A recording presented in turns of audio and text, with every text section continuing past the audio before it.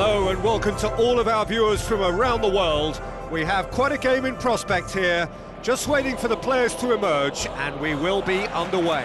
I'm Peter Drury, and providing analysis and expert opinion alongside me will be Jim Beglin.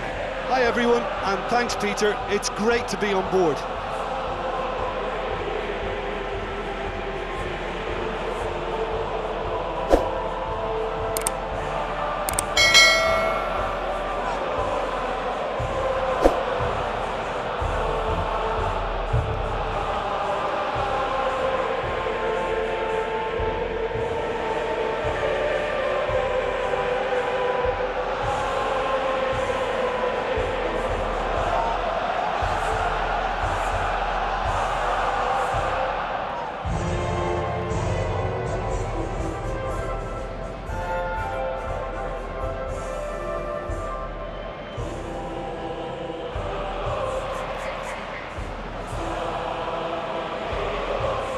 Are the lineups we've just been given.